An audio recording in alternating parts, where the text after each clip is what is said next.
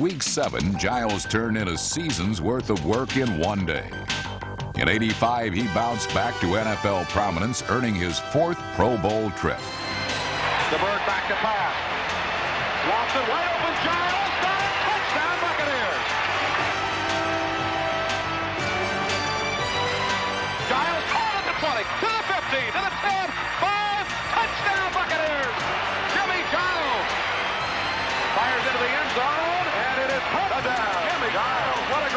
His third touchdown of the day.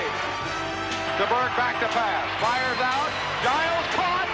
Gets away. And in. Touchdown Buccaneers. Holy smokes. This is the Jimmie Giles day. Four touchdowns of the day. After making the great grab one-handed, he got away and took it in. DeBerg to Giles for the fourth time.